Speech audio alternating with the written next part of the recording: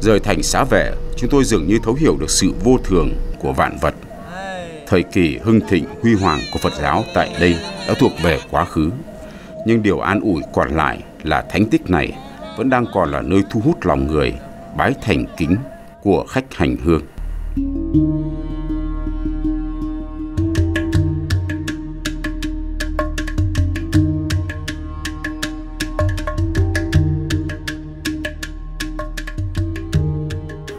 Đoàn đi đến Vương Thành Ca Tỳ La vẻ một nơi quen thuộc trong trí tưởng tượng của người con Phật, mà khi nghĩ đến chúng ta cảm thấy bồi hồi xúc động, nôn nao, khó tả.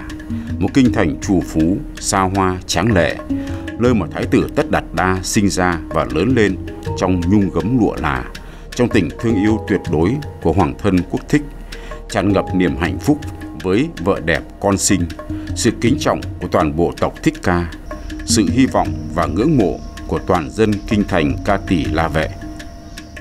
Để rồi, từ những thái cực của cuộc đời, nghèo giàu, khổ đau và hạnh phúc, sự sống mong manh, cái chết vô thường đã dẫn đến cuộc ra đi vĩ đại, cuộc ra đi vô tiền khoáng hậu, cuộc ra đi làm nên trang sử vàng. Chính là sự có mặt của một đạo Phật cứu khổ ban vui vì lợi ích cho vạn loại hữu tình trên hành tinh này. Đối với phía trước mặt của chúng ta. Đây là cổng đồng. Sau lưng là điểm vị trí chúng ta bắt đầu đi vào, đó là cửa tây khi thái tử đi dạo bốn cửa thành, thấy cảnh già bệnh chết và một tu sĩ. Sau đó, thái tử xin vua cha để xuất gia. Nhưng vua cha đã khước từ. Vì thế, vào lúc nửa đêm, thái tử một kinh thành chứa đầy kỷ niệm, một kinh thành không thể tách rời Phật giáo, một kinh thành không chỉ là quê hương Đức Phật mà còn là quê hương của người con Phật, quê hương của tất cả chúng ta. Phía Tây chỉ còn sót lại nền gạch cũ cùng với tấm bảng xác định vị trí của các nhà khảo cổ. Đối mặt sau cửa cổng thành phía Tây khoảng hơn một km là cửa thành Đông, nơi mà Thái tử Tất Đạt Đa đã rời bỏ kinh thành đi tìm đạo giải thoát.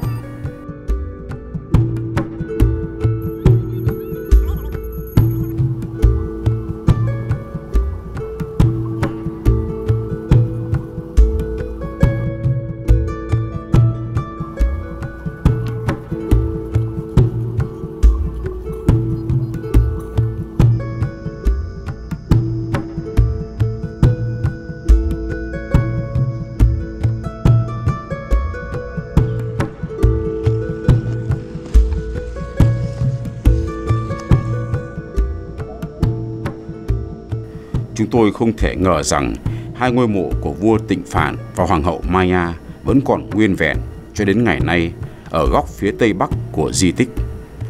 Người dân cho biết rằng ngôi mộ lớn là của vua Tịnh Phạn và ngôi mộ nhỏ là của Hoàng hậu Maya.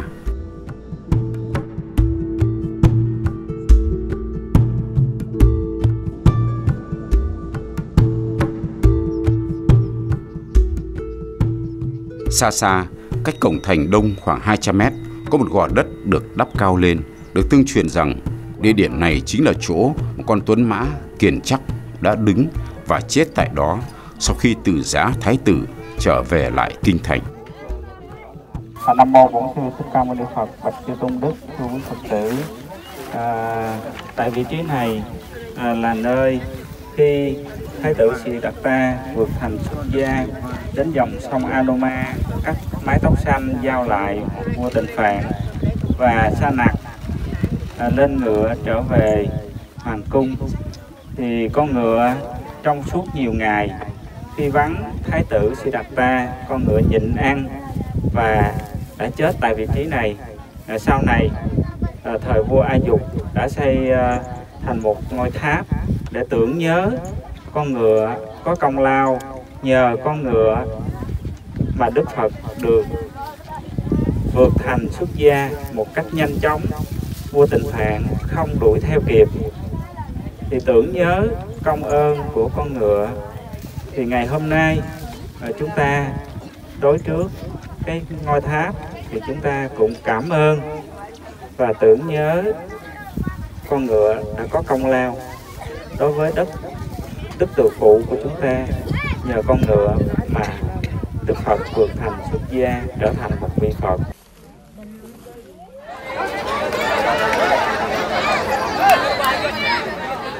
Trong suốt những ngày đi dọc đất nước Ấn Độ theo dấu chân hoàng pháp của Đức Phật, tất cả thành viên của đoàn hành hương thấm thía được cái nghèo của người dân Ấn Độ. Đoàn đã đi qua những thành phố giàu có và cũng đã đi qua những thôn xóm nghèo nàn. Có thể nói là nghèo, màn trời chiếu đất của những người dân nghèo nơi đất Ấn.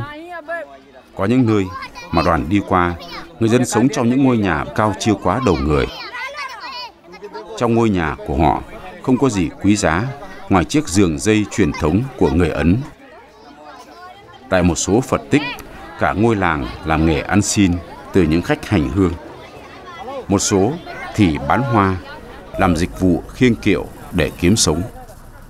Hầu như mọi người trong đoàn, ai ai cũng đổi tiền đồng 10 rupi để tặng cho các em nhỏ, những người ăn xin nơi đất Phật.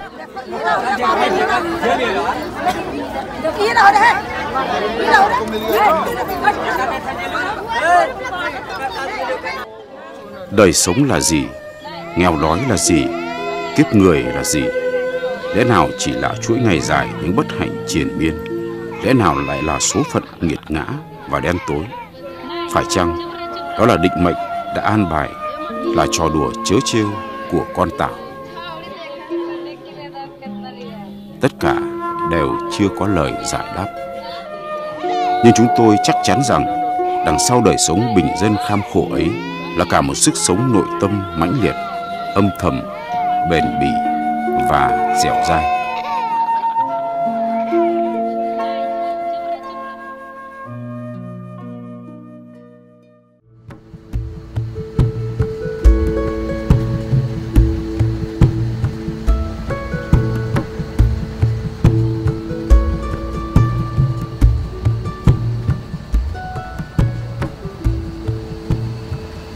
Nigali Hawa là tên một ngôi làng nhỏ.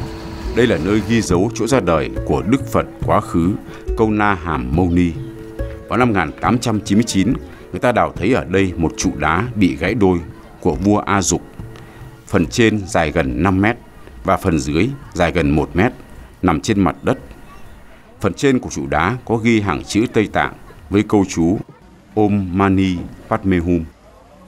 Và trên dòng chữ này có khắc hình hai con công. Phần nửa trụ đá dưới có khắc hàng chữ Brahmi là tiếng Ấn Độ thời cổ ghi lại chuyến đến thăm Ca Tỳ La Vệ của vua A Dục.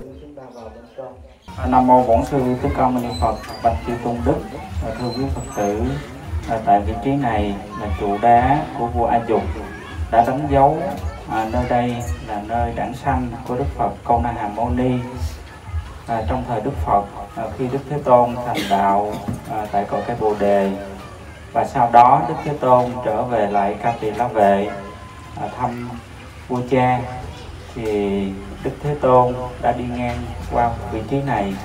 Đức Thế Tôn đã dạy với đại chúng rằng tại vị trí này là nơi Đức Phật Câu Na Hàm Mâu Ni đản sinh. À, trong à, kiếp hiện tại trên quả đất này.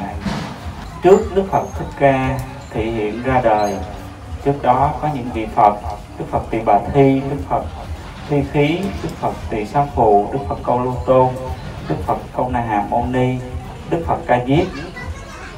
Tiếp theo đó mới là Đức Phật Thích Ca Mâu Ni. Thì Đức Đức Phật Câu Na Hàm Mâu Ni là vị vị Phật quá khứ đã thị hiện đảng đản sanh tại vị trí này và gần các tỳ la vệ này à, có một vị Phật nữa đó là Đức Phật Câu Lưu Tôn cũng thị hiện nơi vị trí này. Và sau khi Đức Phật nhập Niết Bàn đến thời kỳ vua A Dục vua A Dục đã cho người dựng trụ đá này và đánh dấu nơi đây là nơi thị hiện đản sanh của Đức Phật Câu Na Hàm môn Ni. Ngày hôm nay à, chúng ta đến nơi trụ đá này. Chúng ta biết được rằng trước Đức Phật Thích Ca Mâu Ni thì có những vị Phật quá khứ và chung quanh khu vực Ca Tỳ La Vệ này. Có những vị Phật trước đó đã thể hiện Đức Phật Bổn Sư Thích Ca Mâu Ni cũng thể hiện tại mảnh đất này. Thì tương lai Đức Phật Di Lặc thì chúng ta có thể đón biết được rằng Ngài Di Lặc sẽ thể hiện thành Phật ở mảnh đất Ấn Độ và Nepal này là Nam Mô Bổn Sư Thích Ca Mâu Ni Phật.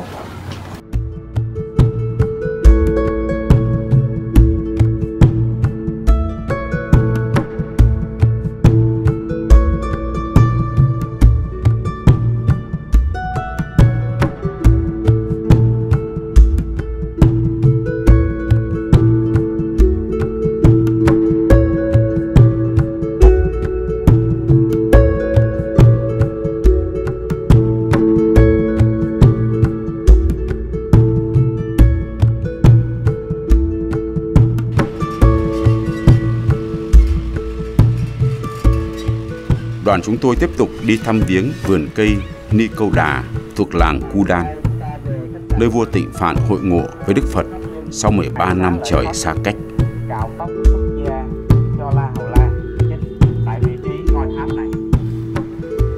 Tháp cổ, nơi ghi dấu Đức Phật làm lễ xuất gia cho Ngài La Hầu La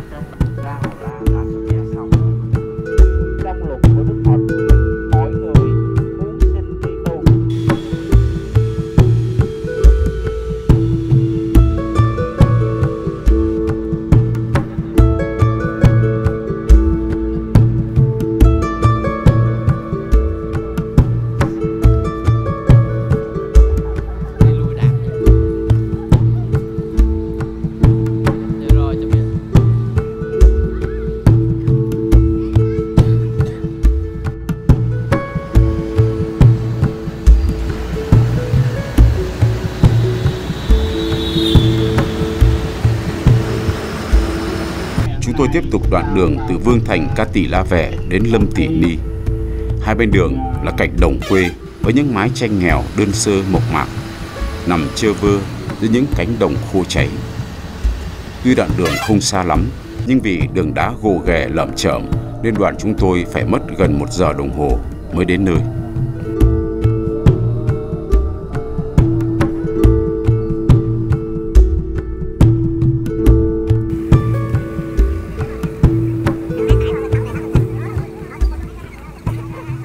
Lâm Tỷ Ni, xưa kia là khu vườn xinh đẹp của kinh thành Ca Tỷ La Vẻ.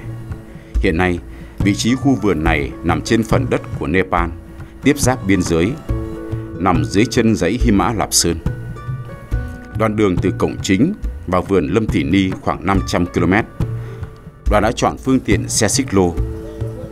Khi xe lăn bánh chậm chậm dọc hai bên đường là cây cối xanh tươi, gió thổi vi vu, không gian thật thanh bình và yên ả, khiến lòng người nhẹ nhàng, được giải phóng khỏi những vướng bận lo toan. Lâm Tỷ Ni đã trở thành một trong những thánh tích thiêng liêng nhất của Phật giáo. Trải qua bao thế kỷ, thánh địa này là trung tâm nghiên cứu, hành hương của hàng triệu nhà khảo cổ, học giả, sử gia, Phật tử và du khách khắp nơi trên thế giới.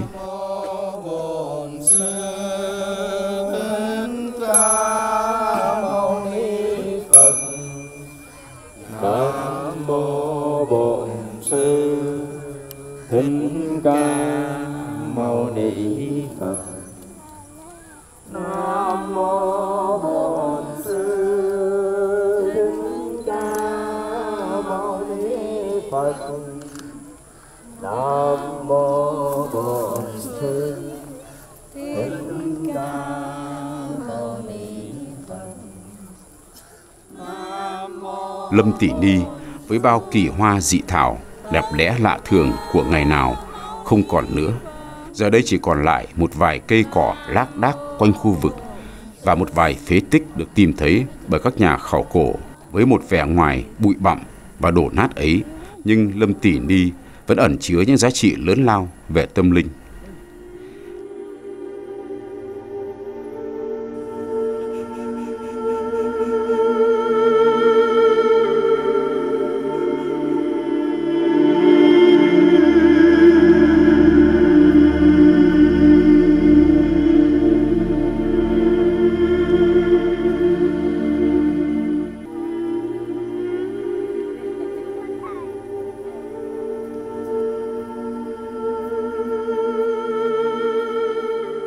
May mắn thay cho chúng tôi, cho những người muốn tìm hiểu về sự thật Phật giáo. Một thánh tích dù không còn nguyên vẹn, nhưng nó đã chứng thật với lịch sử, vẫn hiên ngang với trời đất, vẫn là niềm tự hào đối với tất cả người con Phật trên khắp Nam Châu.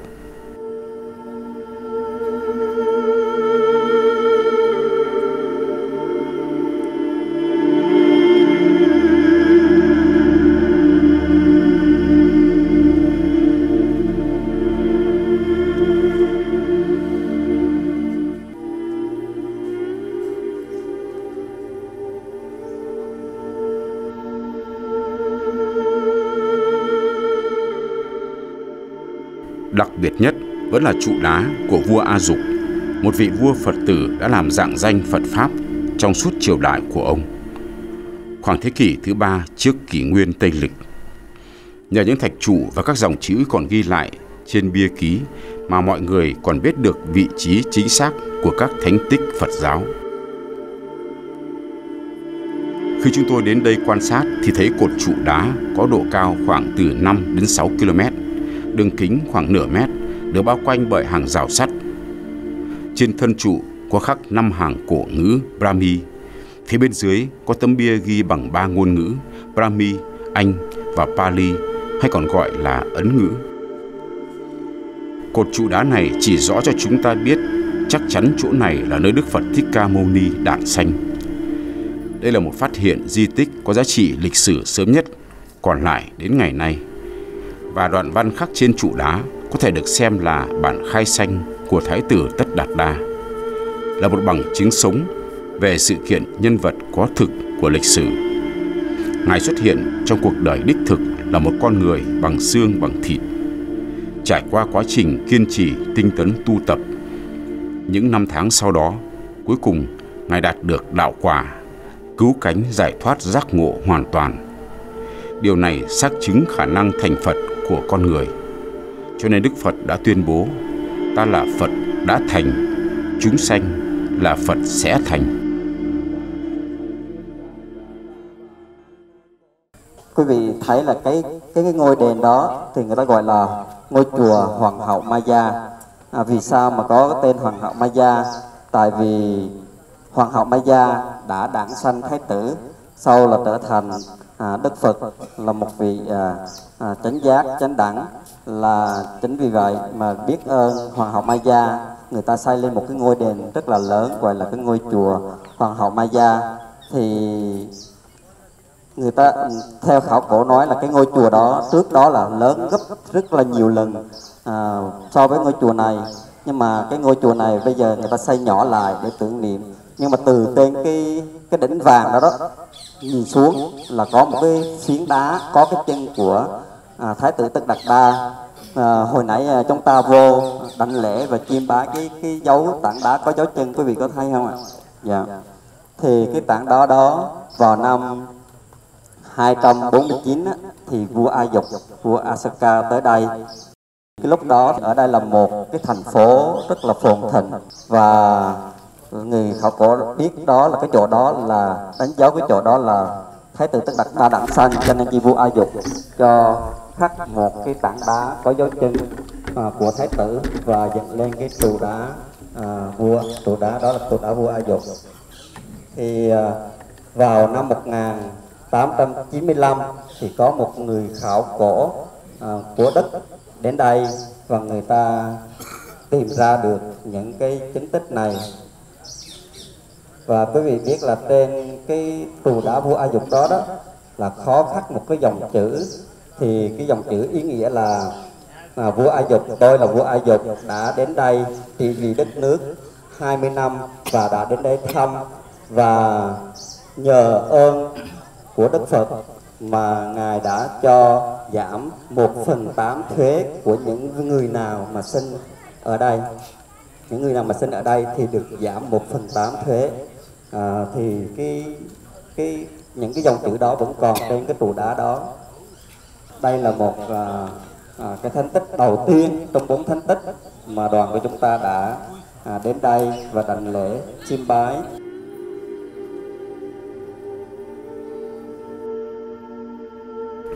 Có lẽ chúng tôi chưa bao giờ có được những cảm xúc dâng lên từ đáy lòng như ở nơi đây.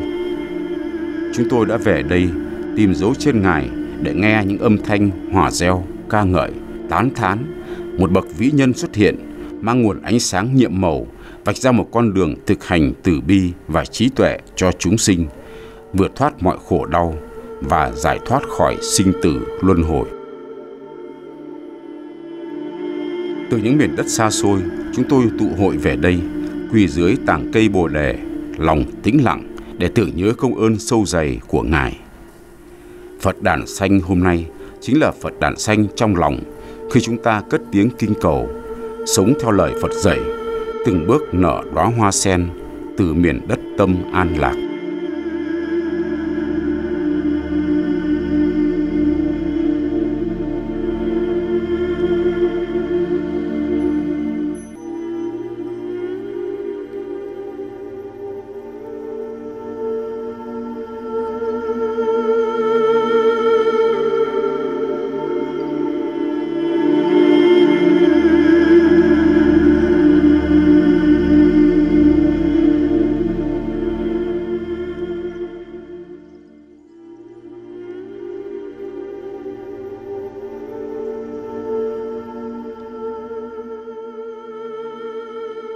À, đây là lần thứ ba mà tôi có diễm phúc được ừ, à, quay trở lại à, à, quê hương của Đức Phật.